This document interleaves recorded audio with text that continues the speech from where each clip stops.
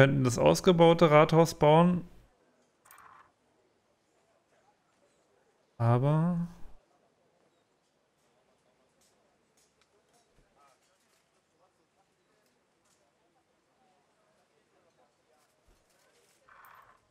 Wir müssen aufpassen, dass uns dann die Kosten nicht auffressen. Es gibt viel zu tun. Muss ich jetzt jedes Ding ins extra bauen? Nice. Nun gut, ich muss mir ein Bild machen. Folge mir. Ja, geil. Kann ich beides gleichzeitig bauen. Das ist ja ein Träumchen. Dieser hässliche Bretterverschlag, können wir das nicht irgendwie anders machen? Hier werden wir bauen? Genau. Ich bin bereit. Ich über... Hm. Wir haben noch...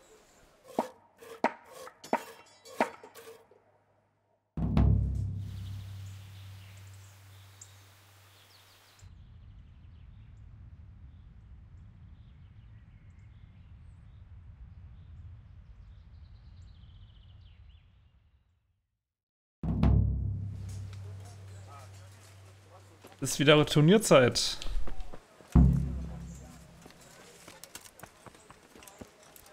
Sieht das jetzt schon wenigstens besser aus? Ja. Gut, dass hier noch keine Bänke stehen. Aber ich kann mich wieder von meinen Sünden freikaufen, was auch immer das bringen soll.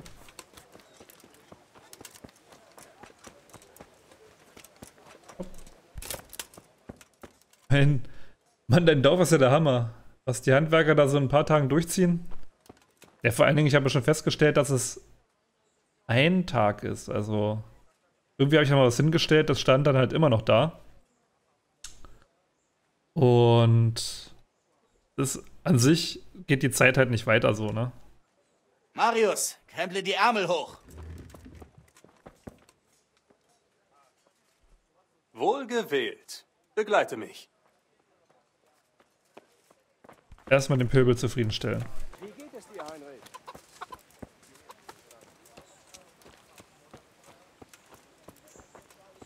Ein Gebäude können wir dann noch upgraden, glaube ich. Dann war's das aber. So Hier kann man wir bauen? Genau. mal 30.000 Ich bin Kohlen bereit. raushauen. Ich... Hm. Wir haben was.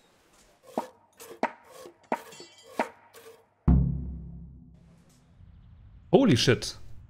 Als ob. Uh, Junge. Das sieht ja jetzt schon nicht so schlecht aus, muss man sagen, ne?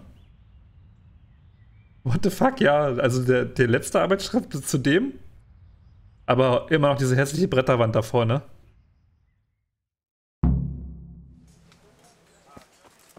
Das passt aber so gar nicht.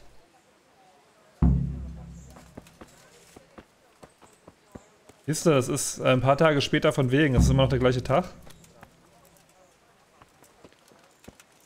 Aufgabe abgeschlossen?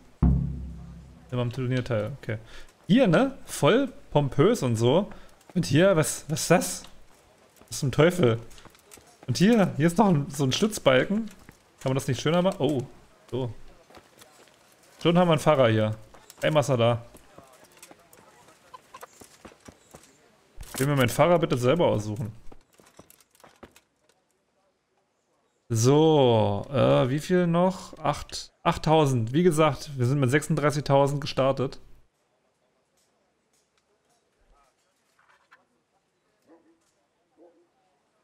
Das ist normal für die Zeit, weil die so hoch ist, okay. Aber die anderen Kirchen, die sehen alle besser aus.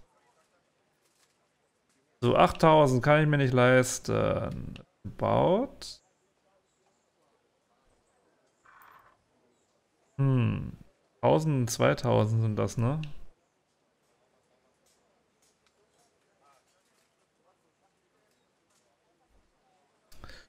Überlege gerade hart. Äh, hier könnten wir noch die Räucherkammer bauen. Das wären 500. Soll ich die Stallungen bauen oder soll ich das Wachhaus bauen? Wachhaus generiert weniger Geld. Insgesamt.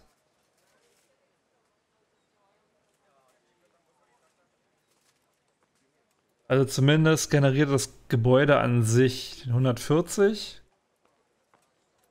Dann, was steht da? Irgendwas für die Sattler? Ausrüstung für die Sattler, glaube ich. 70. Hufeisen aus der Schmiede macht insgesamt 175. Und dann nochmal, wenn das soweit ist, Pferde für den Händler, nochmal 120, glaube ich, macht 295. Und hier sind es definitiv mehr. Und wir sind safe. Komm. Ich habe mich entschieden.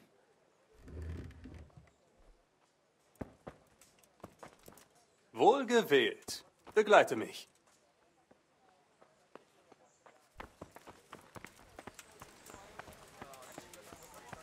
Das könnte jetzt, jetzt weiß ich nicht, wo wir hinrennen. Ich laufe einfach mit ihm mit. Äh, okay.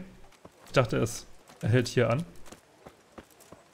Die Wege des NPCs sind unergründlich.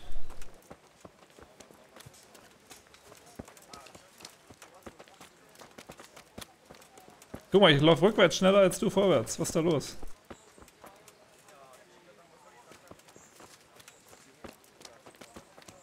Ich würde ja eigentlich gerne einen Wald drumherum ziehen, ne? Aber das geht nicht. Leider kann man hier nicht frei bauen, wie man möchte. Ich muss auch gleich hier nochmal äh, richten. Und wenn es ein paar Tage später ist, müsste der Händler eigentlich wieder Geld haben. Ich guck mal schnell.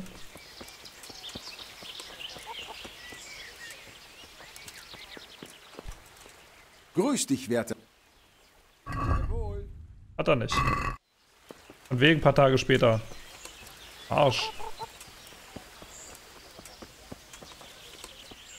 Hier? Hier werden wir bauen? Ja. Ich bin bereit. Ich... Hm. Alles da? Büro hängst aus dem Bauamt. Was erwartest du? Ja, das stimmt wohl auch wieder.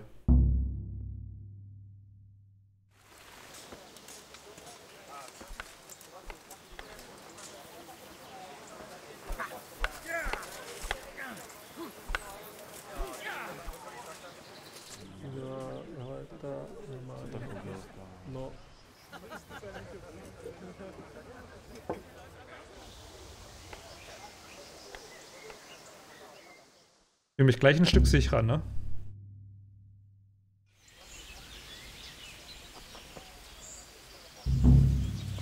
Aha.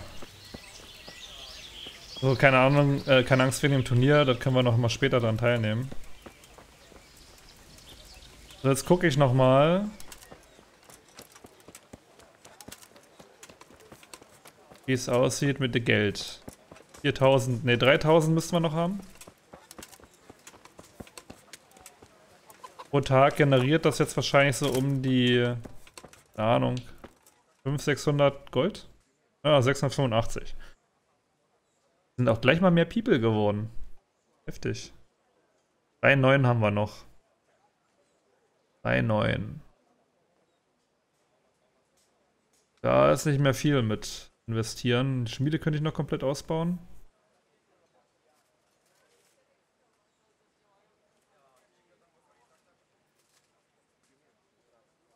Räucherkammer könnte ich noch machen. Äh, Nochmal 100 dann dazugeben. An Kohlen. Und hier nochmal ein Schießstand. Etwa 1500 weg. Hier können wir nichts mehr ausbauen. dann könnte ich nochmal Würfelspiele machen. Wobei die Brauerei mehr bringen würde, ne? Fehlen mir noch genau 100 Gold, ja Mensch. Ansonsten haben wir eigentlich fast alles. Bienenstöcke könnte ich noch herstellen. Und dann wär's das schon. Heftig.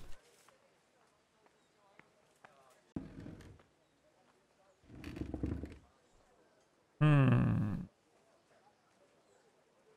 Brauerei 2000. Spielstand 1000, sind 3000. Und dann nochmal die Räucherkammer sind 3,5. Würde jetzt für mich erstmal so passen.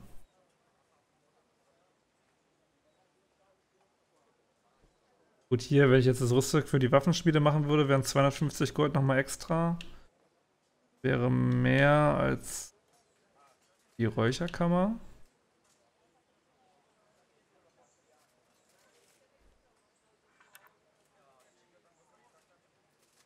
Ja, der Schießstand bringt halt jetzt nicht so wirklich viel Geld, ne, aber ich fühle mich da ein bisschen sicherer. Machen wir erstmal die, die Brauerei.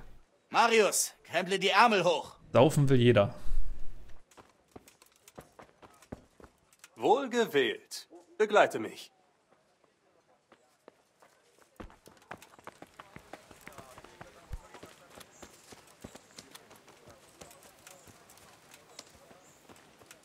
Sind halt wirklich gut geschützt. Hier laufen halt Bewaffnete rum, noch ein Nöcher. Ich weiß nicht, ob man hier überhaupt angegriffen werden kann. In der eigenen Siedlung, aber bin ich ein bisschen beruhigter. Gott sei mit dir, Heinrich.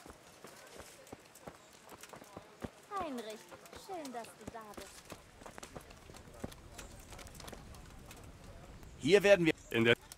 Ich bin bereit. Ich... Alles da? Wirklich mal einige Tage später wären, hätten die Händler wieder Geld. Aber nee.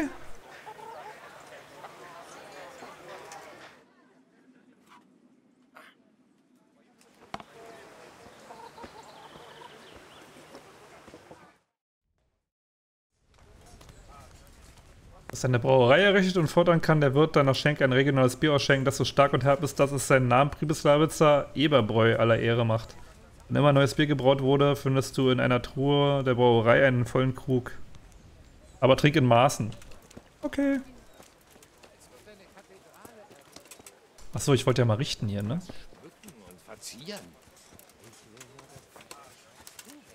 Richten wir mal. Ruch und Lumia, zwei altbekannte Unruhestifter. Streitet ihr euch wieder? Worum geht's diesmal? Ruch ist eine miese, diebische Elster. Dieses Schwein ist ein verdammter Lügner. Hört auf, meine Zeit mit Beleidigungen zu verschwenden. Was ist passiert? Wie du weißt, Meister Vogt, habe ich eine Tochter und dieser Bast... Ruch hier hat einen Sohn. Und natürlich ist sein Sohn genauso ein geiler Bock wie sein alter Herr. Er hat mein Mädchen geschwängert und sie dann sitzen lassen. Was für ein Unsinn, du Lügenmaul. Wir sind eine rechtschaffene Familie, Herr.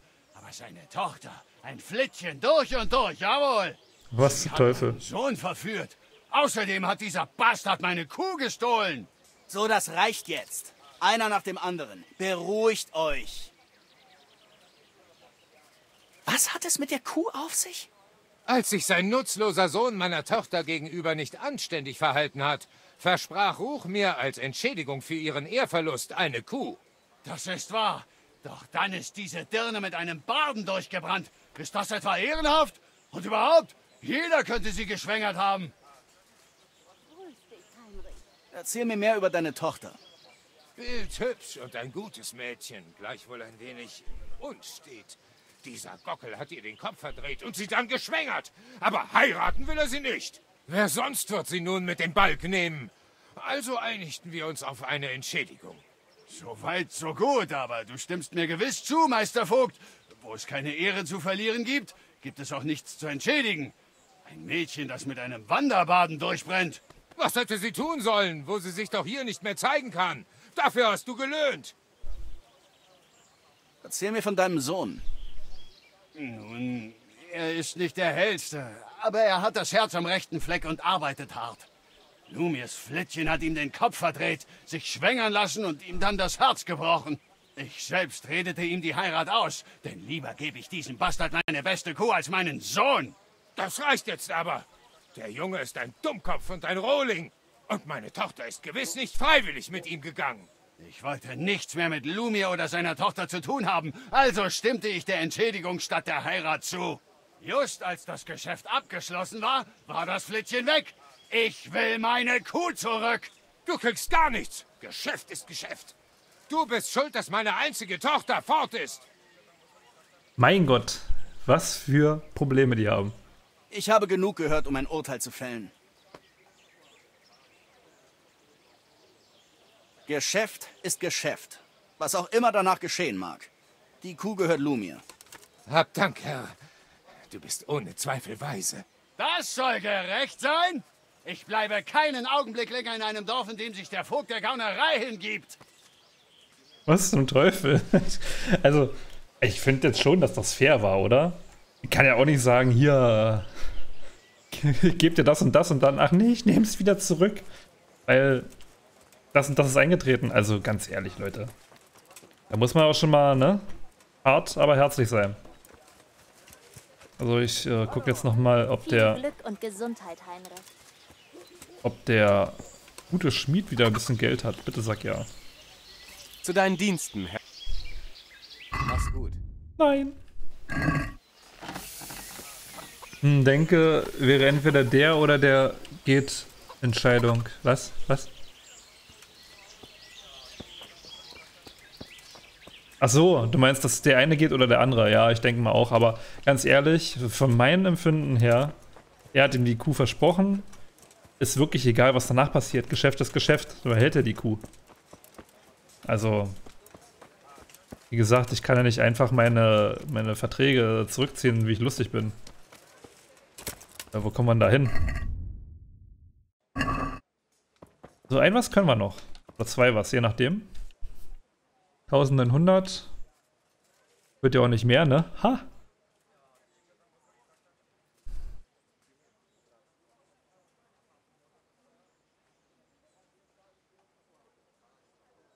Sind gar nicht 1000, ne? Weil es ist durchgekreuzt und das sind auch keine 2000. Ist halt ein bisschen blöd, ne? Wie viel sollen das sein? Also wenn es 1000 wären, könnte ich es ja noch zahlen.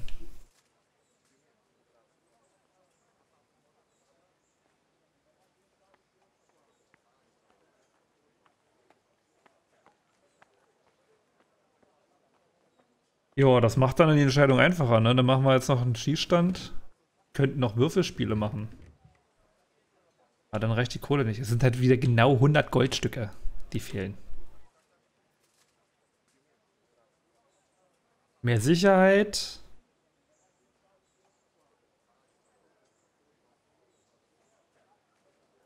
Ich glaube nicht, dass wir angegriffen werden. Wir machen ein paar Würfelspiele. Es gibt viel zu tun. Fressen, saufen und Glücksspiel. Das ist das, was die Leute am Leben hält. Ich hätte jetzt noch Dirnen gesagt, Dann komm aber mit, damit wir anfangen können. das kann ich leider nicht hier bauen. Eine Kuh für eine Kuh halt. ja. Gott sei mit dir, Heinrich. Mehr Sicherheit kontra Glücksspiel. Ja, ich weiß auch nicht, warum man kein, kein Bordell hier setzen kann. Mohnblume. Ich habe genug Mohnblumen. Muss jetzt nicht noch pflücken. Brennnesseln habe ich auch genug. Heinrich, schön, dass du da bist. Stimmt, Badehaus. Aber Badehaus kann ich trotzdem hier nicht bauen. Hier werden wir bauen? Ja, Ich bin bereit. ich üb. Hm, wir haben noch. Vor allem, wir haben noch genug. Er sagt, tut so, als wäre es Baumaterial, aber es ist einfach nur Geld.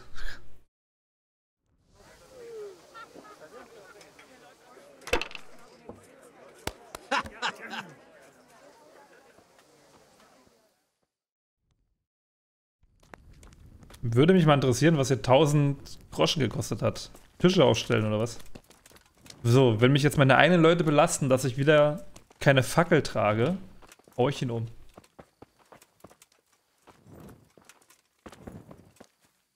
Wollte nämlich schon sagen.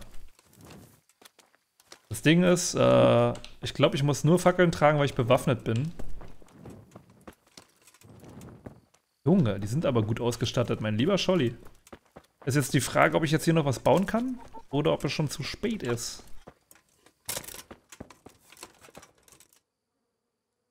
Ach, guck mal, 2000 müssen wir plus machen. Das heißt, mit dem nächsten Bau haben wir das auch abgeschlossen. Dann haben wir wieder eine Quest fertig. Ähm. Ähm. 500. Ja. Ist nicht mehr viel mit, mit Kohlen. Es gibt viel zu tun. Im Bauen ist zu dunkel? Quatsch doch nicht. Echt jetzt? In der Nacht bauen kannst du dir nicht leisten. Ach doch, gibt ja keine Gewerkschaft. Der hat einfach keinen Bock. Aber er arbeitet noch. Oder oh, flackern die Texturen. Toll. Toll, toll. Probe auf Exempel. Leg mich hin und schlaf noch mal die Nacht. Kann, essen kann ich noch nichts. Wie dunkel kann das irgendwo sein? Wow, ich muss in meinem eigenen Haus eine Fackel anmachen. Hier drinne. Da ist eine Truhe. Da ist eine Truhe. Ich glaube, das ist meine persönliche Truhe.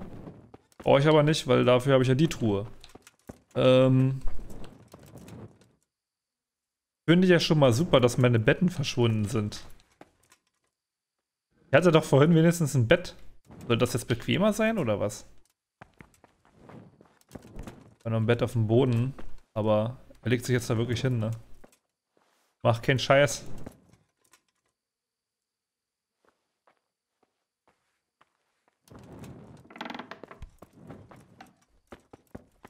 Dann, ich kann mich nicht mal da hinlegen, wo Fell drauf ist, doch hier. Äh, schlafen und speichern. Gebe jetzt die paar Kohlen nach außen, ne? Minus 40 Komfort. Reicht trotzdem.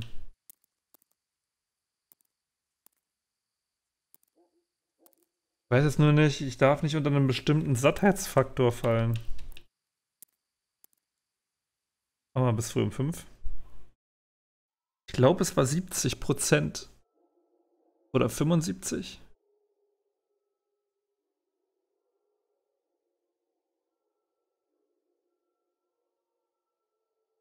Wenn ich auf dem Boden pennen würde, hätte ich plus 40 Komfort, glaube ich. Lol.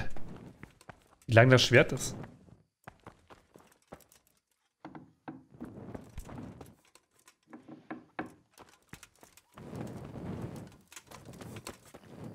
Aus dem Topf essen. Nom nom nom. So. Hier ist kein Wasser drin, ich kann mich nicht mal waschen.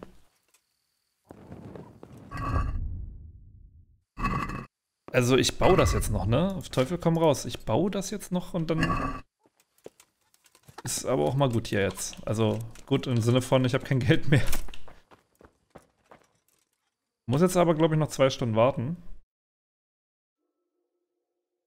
Weil die Leute ja nicht zeitig aufstehen.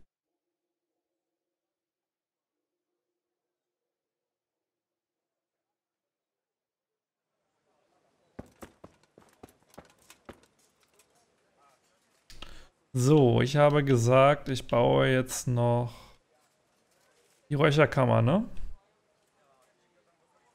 Hey, Moment mal. Stimmt, nächster Tag. Wir haben Geld generiert. Weil ich generiere ja pro Tag äh, 1100 Gold. Und bevor wir jetzt bauen,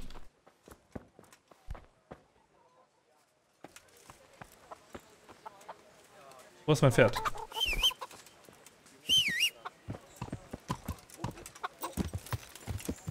Kurz ja. die Probe aufs Exempel machen.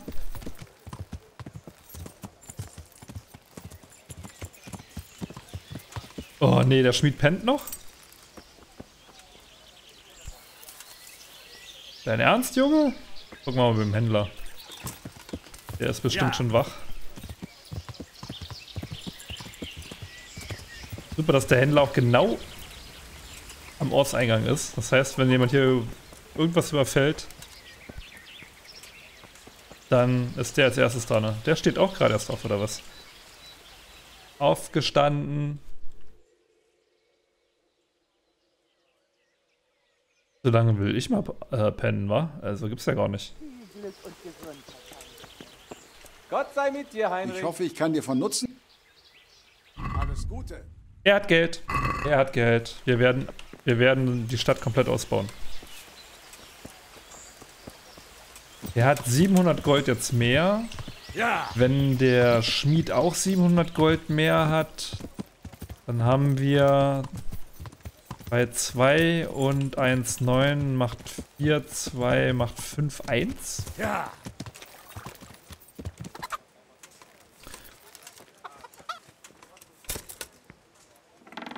Oh, Jungs. Muss einfach mal nicht aus der Stadt rausgehen. Ähm, alles nehmen wir, glaube ich, Quatsch.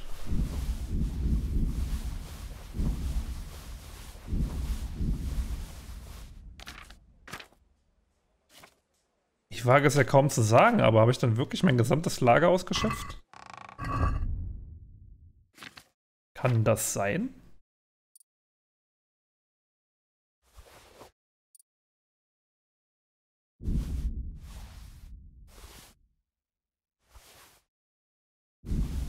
Frage ist ja kaum zu sagen, aber könnte wirklich sein dann. Einfach mal alles ausgegeben. Einfach mal alles aufgebracht und zu Geld gemacht. Ja. Damit hätte ich jetzt nicht gerechnet, ehrlich gesagt. Beschreien wir es nicht. Das ist nicht so weit, ne? Dann müssen wir ja wieder plündern und Banditen ausrotten.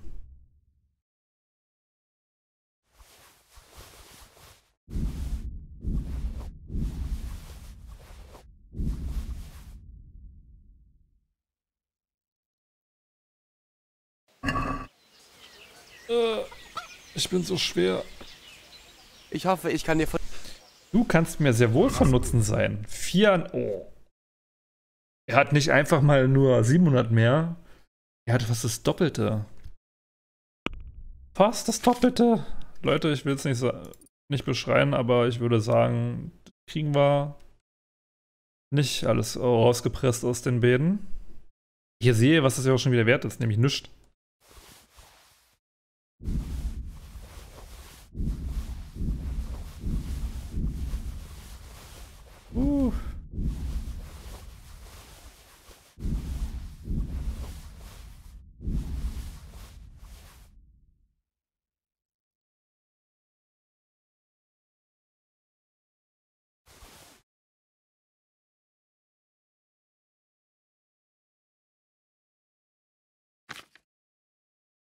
Es ist eingetreten. Ich habe nichts mehr zum Verkaufen. Was zum Teufel? Dass das überhaupt mal passiert, hätte ich nicht für möglich gehalten.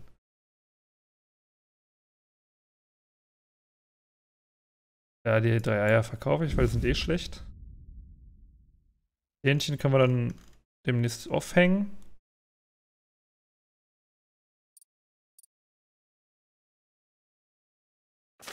Ich will es nicht sagen, aber ich bin pleite. Also Gegenstände pleite mäßig. Hier 470, das Buch könnte ich verkaufen, wenn ich. Kann ich die anderen Bücher, die ich gelesen habe, verkaufen? Brauche ich ja nicht mehr. Nimmt ja nur Platz weg. Weg.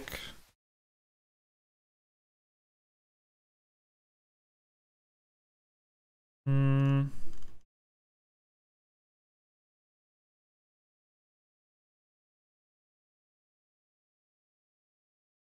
Tja. Was soll ich sagen, Leute? Das Reden wir Geld über den Preis. ist Nun. drin. Das Geld ist drin. Ich wiederhole. Ich kann nichts mehr verkaufen. Siehst du, ich wusste, wir wären. Wir brauchen gar nicht mehr weiter zum Händler. alles, alles weg. Alles weg.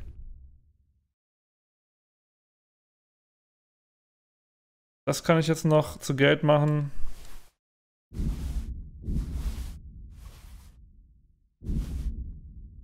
Äh, das nehme ich auch mal ins Invent. Ich habe das zweimal?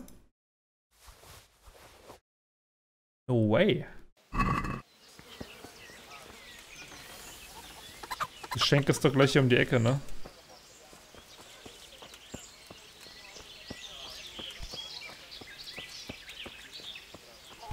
Nee, das ist der Händler, der um die Ecke. In die falsche Richtung gelaufen. Oh, wie dumm. Ich weiß auch nicht, ob das an einer normalen Bank auch geht. Die hat ja natürlich keine, ne? Willkommen, Heinrich.